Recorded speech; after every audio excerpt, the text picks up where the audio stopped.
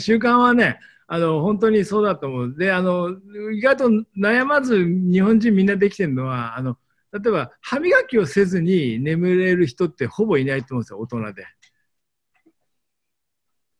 それってつまり習慣化に成功してるんですよね。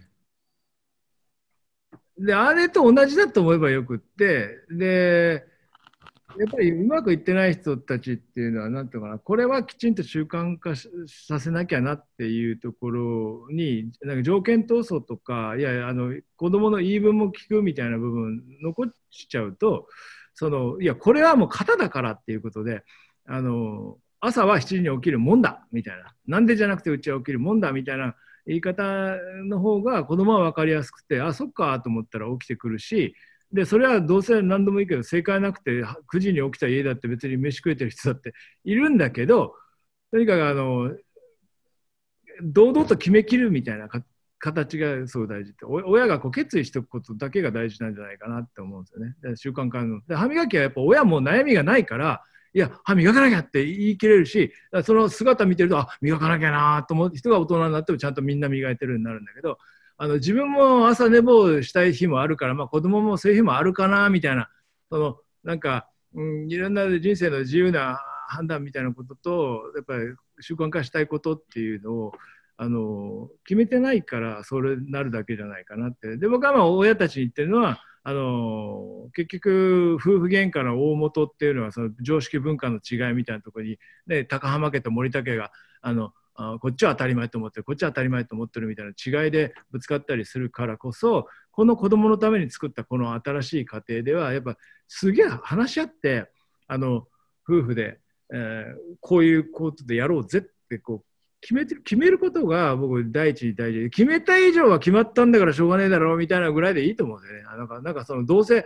真実がそこに奥行きにあるわけじゃなくてそういうこう決意動物としての決意の問題みたいなことじゃないかなっていうのは僕は思ってるんですけど、えー、塩見大先生いかがですか？あのね、えー、今習慣の話が出ましたよね。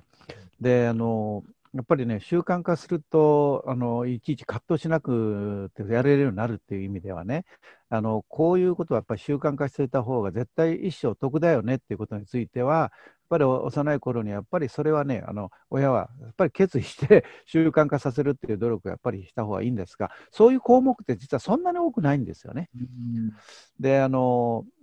ルソーっていう人がエミールっていう本を書いているのはあのご存知だと思うんですが、あの中で最初にルソーが言ってることの一つはですね、子供にこうつけさせるべき習慣は、えー、あらゆる習慣になじまさないことであるっていうね。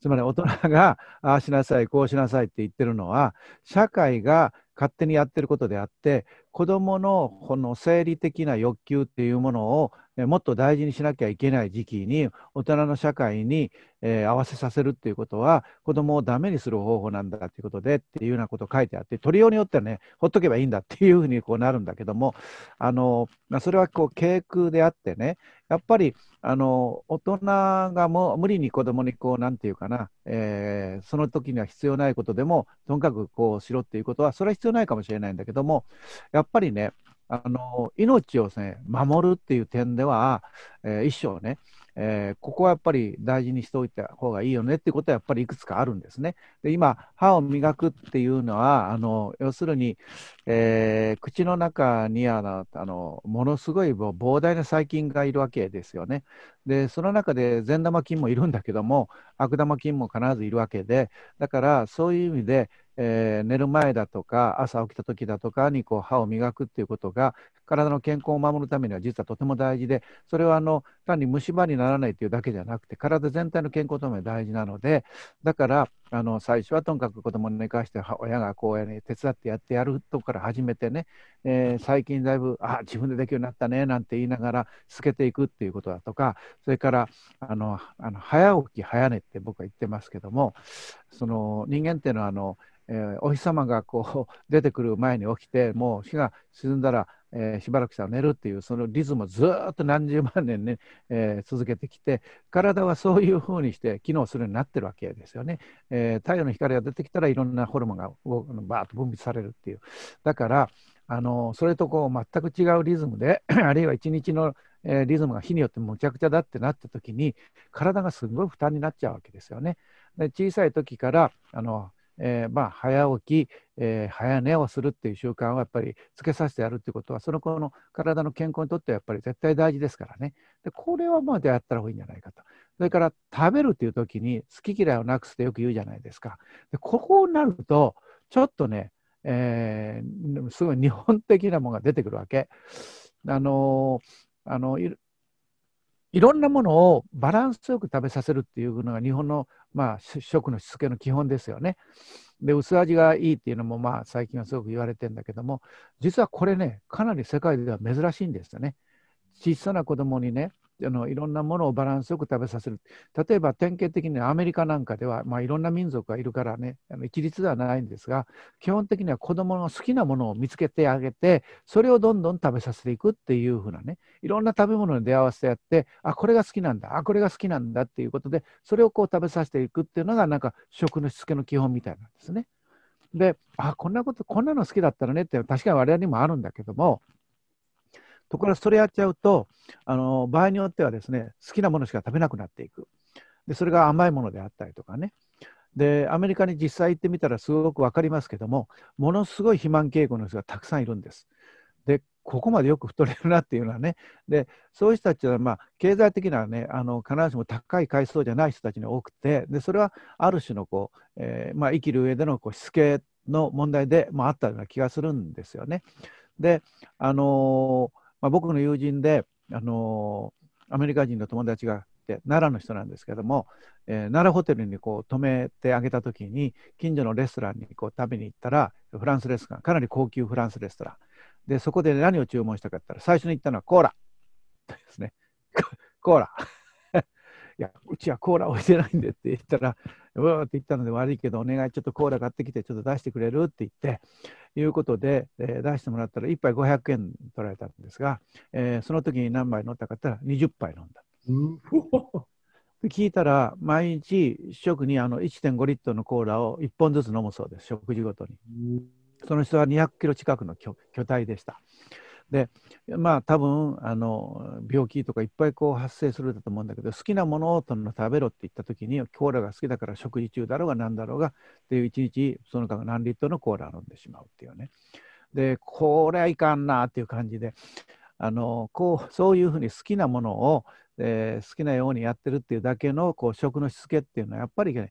体の健康やっぱり大きな問題です。でスウェーデンなんかはやっぱり好きなものを食べなさいよっていうことはあの見つけてやってあげてその料理をいろいろやってあげるんだけどもでもね偏って同じものばっかり食べた時には体は健康にならないんだということはお母さんのかなりやっぱり厳しくやっぱり教育されてるわけですね。ですからあの日本はねもう典型的にあのある世界でこれからモデルになるかもしれませんけどもなんかバランスよくいろんなものを取る食べさせていくっていうかな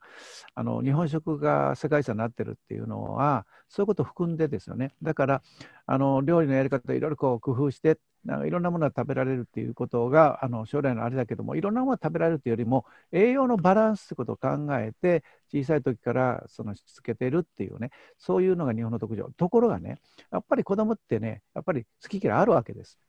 なぜあるかっていうとあの人間の五感の中でねあの赤ちゃんの時一番こうあの発達しててそれからだんだん衰えてくるのなんていうか感覚があるんですね。でそれは一つはあの嗅覚ですね。匂いを嗅ぐ能力っていうのは生まれた時が一番強くて、えー、例えばね保育園なんかで2歳児にねあこの T シャツ誰だか忘れてるよって言うと誰かパーッと走ってきてそしてクンクンって匂い嗅いであケンちゃんのだってすぐ分かってしまう。つまりね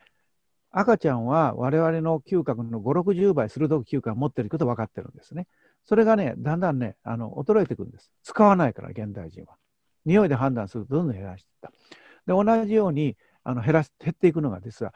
味覚なんです。で味を進める時に下にこうね未来っていう細胞があってそれでこう色苦味だとかなんかをの判断してるんですがこの未来っていうのが、えー、大きくなればなるほど実は減っていくんです。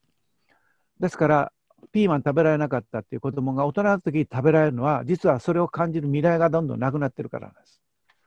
ですからあの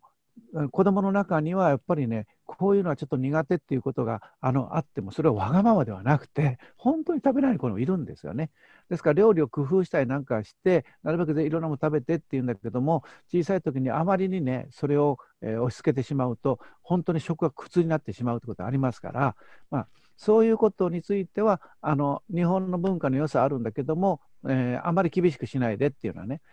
なんかね寝るの寝ることと食べることとでそれからまああの、まあ、その後にねあのこういう時はお礼するとかなんとかっていうのはそういうのは後とかでまたじっくりできるんだけどもあの、えー、睡眠あの、今言ってくださったようなね、えー、まあ、命にこう関わるような習慣の確率の問題とかっていうのについてはね、えこれは丁寧にこう、まあ、やってあげた方がいいっていうふうに、まあ、私は思いますね。